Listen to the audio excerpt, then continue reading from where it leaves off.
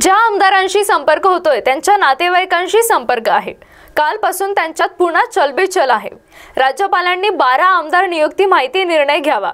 सरकारकडून माहिती मागवणं हा त्यांचा अधिकार असे संजय राऊत स्वतः म्हणाले त्यांचा कोरोना बरा झाला शुभेच्छा दिला त्याचबरोबर बारा आमदार फाईल क्लिअर करा. फडणवीस यांच्याकडे आमदारांचं मोठं बळ आहे. विकास करण्याची फडणवीस यांची क्षमता मात्र सध्याच्या या डबक्यात त्यांनी उतरू नये. नाव न घेता शिंदे गटाला त्यांनी डबकं असं म्हणलेलं आहे. पंतप्रधान आणि त्यांची अप्रतिष्ठा होईल. सध्या काही एक पक्ष तयार झाला तर त्यात डबक्यात उतरू नये. उद्धव साहेब यांना माहिती आहे गुवाहाटीमध्ये बसून सध्या सल्ले देऊ नका. हा दुसरा स्वातंत्र्य लढा.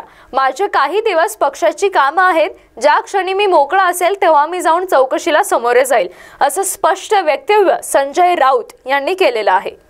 ऑर्डर आया है ग्यारह जुलाई तक। देखो 11 जुलाई तक ज़रूर ऑर्डर आया है कि ये जो विधायक है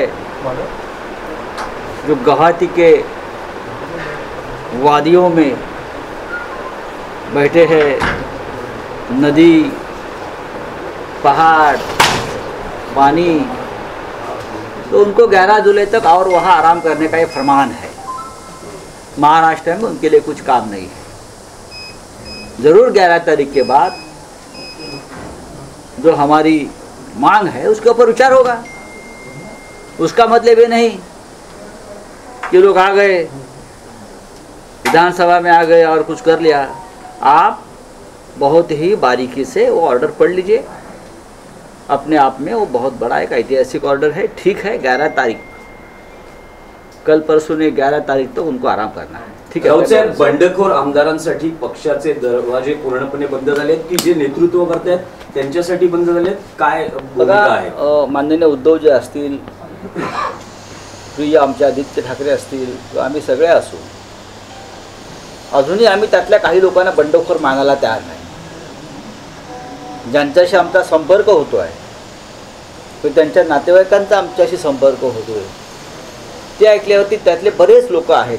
अर्ध्यापेक्षा जास्त लोक आहेत. त्यांना आम्ही बंडखोर वगैरे अजून मानायला तयार नाही कारण ज्या परिस्थितीत त्यांना तिथे ठेवलं गेलेलं आहे किंवा त्यांना नेलं गेलेलं आहे ते जोपर्यंत या मुंबईत येत नाही तोपर्यंत आम्ही आशावादी आहोत. आणि आम्हाला विश्वास आहे. आता काल न्यायालयाने एक निकाल दिला त्यानंतर परत त्यांच्या चलबिचल सुरू झालेली. आहे. लोकांना लोकभावना इतक्या तीव्र आहेत. काल अकोल्यामध्ये मी पाहिलं आत्ताच आपल्या सगळ्या माध्यमांवर पंचवीस हजार लोकं काल रस्त्यावरती उतरली. नितीन देशमुखांच्या समर्थनार्थ आणि जे बंडखोर निघून गेलेले आहेत त्यांच्या विरोधामध्ये आणि उद्धव ठाकरेंना पाठिंबा देण्यासाठी. म्हणजे अक्षरशः जनसागर उसळला. ठिकठिकाणी काल कर्जत असेल किंवा अन्य ठिकाणी आदित्य ठाकरे गेले सभा घेतल्या. आपण पाहिलं असं चित्र. लोक उत्स्फूर्तपणे रस्त्यावर येत आहेत. लवकरच ठाण्यामध्ये तुम्हाला हे चित्र दिसायला लागेल. शिवसेनेमध्ये किंवा शिवसेनेला मानणारी जनता ही अशा प्रकारच्या कोणत्याही विचाराला स्थान देत नाही. हे लक्षात घ्या. त्याच्यामुळे आम्ही निश्चिंत आहोत. ठीक आहे. वेट अँड वॉच जर इतर कोणी करत असेल समोरून